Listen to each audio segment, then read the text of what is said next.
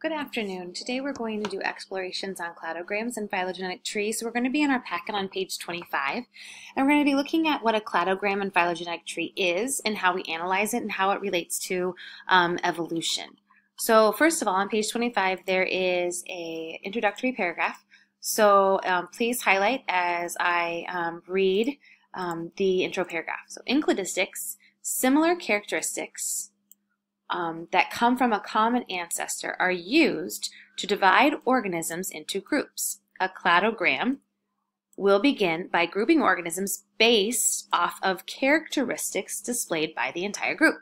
Subsequently, a larger group, or clade, will contain increasingly smaller groups that share the traits of the clades before them, but also exhibits distinct changes as the organisms evolve. So this cladogram picture is on page 25. And what I want you to do is I want you to add this line next to it. And I want you to draw an arrow going up, and I want you to um, identify this line as time. And so down at the bottom would be the most ancient time, and the top of the arrow would be most recent. And so when you look at these individual groups, amphibians, reptiles, marsupials, dogs, cats, each individual group is what we call a clade. And then down here you see four limbs, amniotic eggs, which just means eggs with membranes, hair, specialized shearing teeth, retractable claws. Those are all what we call derived characteristics that um, define the difference between each clade. And so on the right side, left side of this uh, cladogram are some questions. So it says, what do you call the group of animals in a cladogram? Like amphibians, mammals. Well, we call them a clade. What do you call the hair and retractable claws? We call them derived characteristics. And so when you look at the derived characteristics, we're trying to look at what defines the certain clade versus the other clade. So if you look at amphibians, it says, what traits do reptiles have that amphibians do not? Well, reptiles have amniotic eggs, and so does everything else going forward. Um, but frogs do not. So anything that's any characteristic that's in front of the, clade group would not have it, but anything behind it would. So amniotic eggs is what reptiles have that amphibians don't. Now what's important about this uh, cladogram is it can show us commonality, common ancestors, most recent and most ancient.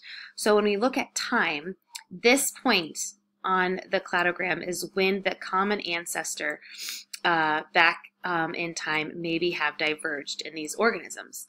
And so if you were to ask the fourth question, which group of organisms do you feel has the most recent common ancestor? So when we say recent, we want to be in a spot where um, it's closer up the arrow. And so we would want to say cats or dogs or dogs and marsupials. Well, if we said dogs and marsupials, their common ancestor would be right here. So if you go across, that would be where it was in time but dogs and cats go up slightly just a little bit more. And so they would be most recent because they're closer up in time. So the answer would have been A. So down um, at the bottom, when you learn how to fill out a cladogram, you kind of look at the derived characteristics and what has in common. So what I want you to do is cross out first carpenter ant. We're just going to do a regular black ant you would find on a picnic um, outside. And so what I want you to do is X what each um, organism has. So just take a moment and do that. Pause and watch the video and do that. Okay, so this so this is kind of what it should look like. And now what you want to do is you want to place these um, now organisms into a cladogram. And so um, you take these individual organisms, and there is a rectangle box, and you try and uh, place the organisms correctly in the cladogram. So pause and please do that real quick. See if you can practice doing it. All right, so technically, my apologies, but um, this line, all these organisms should be uh, lined up in a row. They should be all equal, and then the um, lines should begin to get shorter as you move up the cladogram. So um, it should all just be, so worm should be here, spider should be here, ant should be here, and fly should be here. But, so my apologies, it printed wrong. But, um, so we put cells as the derived characteristic, and then worms have that. Then we put just regular legs, the next would be spiders. Six legs would be ants, then wings would be flies. So there, if you turn the page to page 26, there are two questions on the top of page 26 to help analyze the cladogram, because you won't have to necessarily make a cladogram on a test, but you will need to know how to analyze one. So let's look at the questions. According to your cladogram, which two species are more closely related, worms and spiders, or worms and ants. So you need to look at your cladogram. We have worms and spiders would have been their common ancestor or which ones were closely related, not common ancestor, but closely related. So you need to look at, on the cladogram, which organisms are closer to each other on the cladogram. And so you would know that worms and spiders are more closer to each other than worms and ants. So the, the answer would have been worms and spiders because they're more closer together. Um, and they have uh, the similar derived characteristic in common. According to your cladogram, what species are flies are more closely related? So you look up here in flies, and you want to see the, the organism that's closest to it, and so that would have been the ant. These two are more closely related than spider worm, partly because they're close to each other, and because they have the similar, they share most of the derived characteristics in common with each other. All right, so we have cladograms and then we have something called phylogenetic trees. So I just want to give you just um, another picture. So this is a picture of a cladogram. This is a picture of a phylogenetic tree.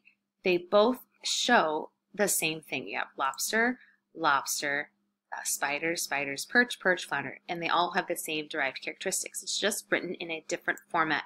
And it can quite, it can look a little bit better with visuals um, because the common ancestors here are so close to each other and these are actually very distinct uh, showing you the ones that are commonality. So let's talk about a phylogenetic tree. So a phylogenetic tree is a diagram that represents evolutionary relationships among organisms. A phylogenetic tree is a hypothesis, not fact.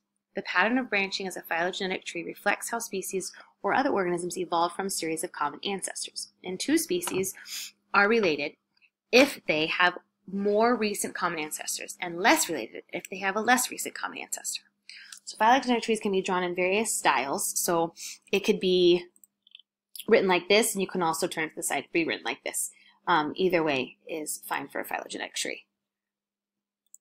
Um, so if you are on a clade and you see that the line is really long, it contains species that have diverged from a very long time ago. They have a very ancient common ancestor. If you see a clade that's short, that means they divide. They have diverged from a, from a more recent common ancestor. So if you look here at this lobster, spider, perch situation, the ones that have a most recent common ancestor are going to be the organisms that diverged most recent on the time scale.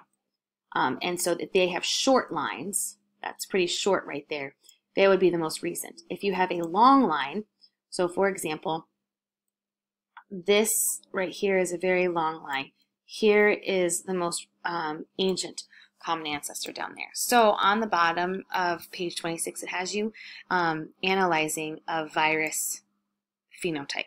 So it says the camel virus shows more recent common ancestor to which other virus.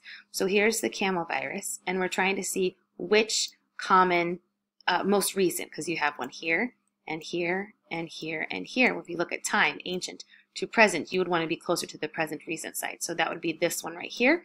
So your answer would be human virus.